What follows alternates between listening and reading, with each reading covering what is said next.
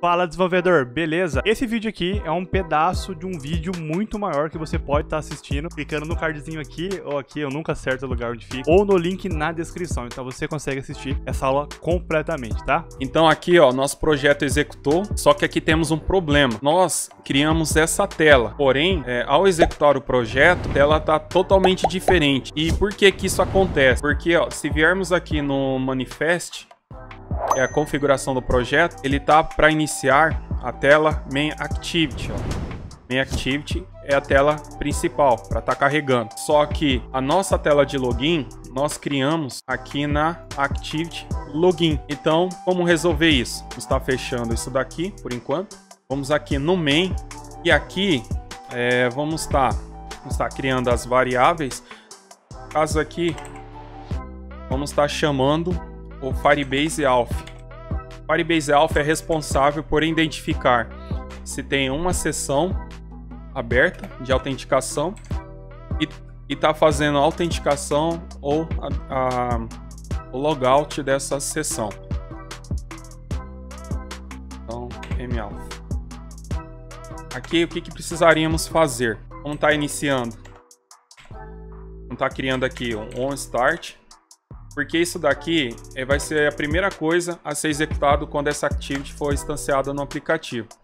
E vamos estar tá pedindo para ele estar tá checando se tem é, um usuário. É, criar uma variável aqui corrente user para ver se existe algum usuário logado.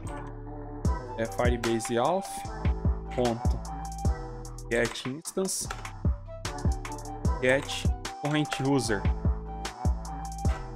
Tá, e aqui vamos colocar uma condição. Está colocando uma condição.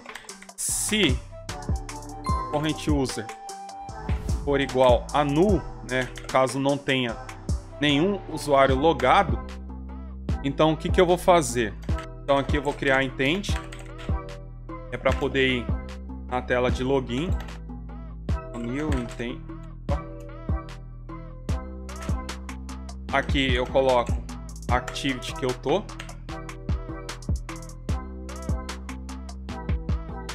E a activity eu quero ir.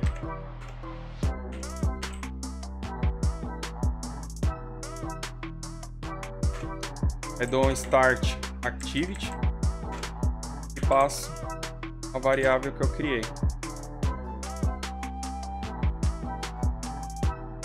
Beleza? E dou um finish para para essa activity não ficar ocupando a memória. Aqui, só corrigindo aqui, aqui que acontece? Eu criei um tipo, ele não pega a instância do usuário. Caso aqui, ó, quando acontecer isso, só posicionar o cursor e aqui ele já sugere, ó, alterar a variável é, é o tipo da variável current user para Firebase user. Aí aqui a gente corrige o erro. Então, o que, que vai acontecer aqui? Ao iniciar o aplicativo, ele vai verificar se tiver uma instância usuário logado, não vai acontecer nada. Né? Caso isso retorna nulo, caso ninguém logou, aí o que, que ele vai fazer? Vai nos redirecionar para a tela de login. Então vamos fazer um teste, vamos executar aqui. Aí agora ele foi direto para a nossa tela de login.